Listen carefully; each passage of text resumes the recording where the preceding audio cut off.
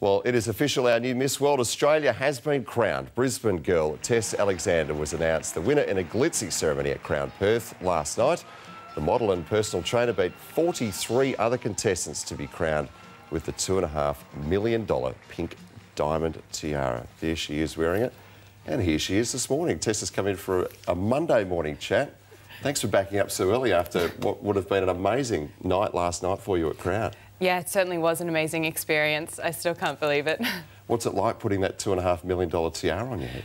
Uh, it's it's breathtaking. It was such a surprise, and um, honestly, it was it was a beautiful piece by Linneys. So you're a Brisbane girl. You work as a personal trainer. Now that you are Miss World Australia, what do you, do you have to quit your job?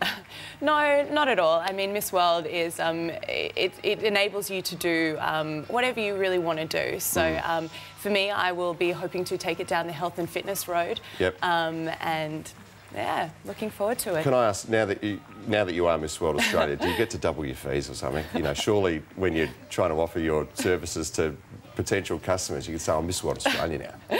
no, not at all. I'm sure my clients are at home watching right now.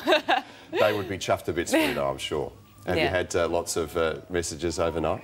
Yeah, definitely. It's been um, there's been an outpouring, and I'm so thankful mm. for everyone's support.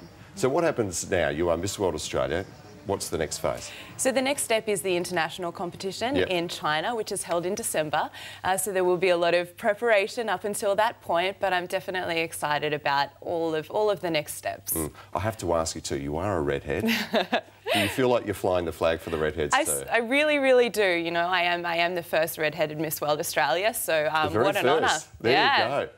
Yeah. So, Doing it for the. You are doing it for the team. Do you get special support from them as well? Are you already a bit of a hero in, oh, the, absolutely. in the Redhead community? so what do you do now? You're flying back to Brisbane and then it all starts? Yeah. What's, what's, the sort of time commitment that you have? Yeah, so the next couple of months will definitely be dedicated to getting ready for the international competition. Yep. Um, and I'm not too sure of the next steps. Yeah.